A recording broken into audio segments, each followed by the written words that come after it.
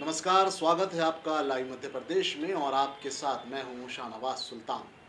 चलिए खबरों के खुलासे की तरफ़ बुरहानपुर जिला कलेक्टर कार्यालय में कलेक्टर राजेश कौल की अध्यक्षता में नवदुर्गा उत्सव समिति के अध्यक्षों सहित जनप्रतिनिधियों के साथ एक बैठक आयोजित हुई।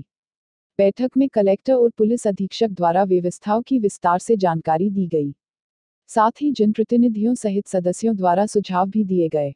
कलेक्टर राजेश कौल ने नाव से प्रतिमा विसर्जन पर प्रतिबंध लगाते हुए प्रशासन द्वारा ही मूर्तियों का विसर्जन करने की बात कही। इस दौरान जिला पुलिस अधीक्षक अजय सिंह, अतिरिक्त पुलिस अधीक्षक महेंद्र तारनेकर, कांग्रेस जिला अध्यक्ष अजय रघुवंशी, निगम अध्यक्ष मनोज तारवला, उपनेता अमर यादव सहित बड़ी संख्या में सदस्य मौजूद थे। व्यवस्था ये की है कि हम जो दशहरे के एक दिन पहले रात्रि में आठ नौ बजे के बीच सारी मूर्तियाँ आना शुरू हो जाए। ताकि उनको एक एक ही साथ चल समारोह के रूप में उसको निकल सके, ताकि लोग उसको एक साथ सारी मूर्तियाँ देख सकें।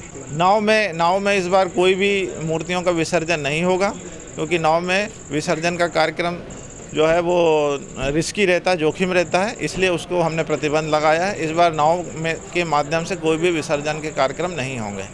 हाँ घाटों में प्रशासन के द्वारा जो है विसर्जन का कार्यक्रम किया जाएगा।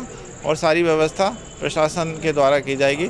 और पानी में किसी भी व्यक्ति को नहीं जाने दिया जाएगा।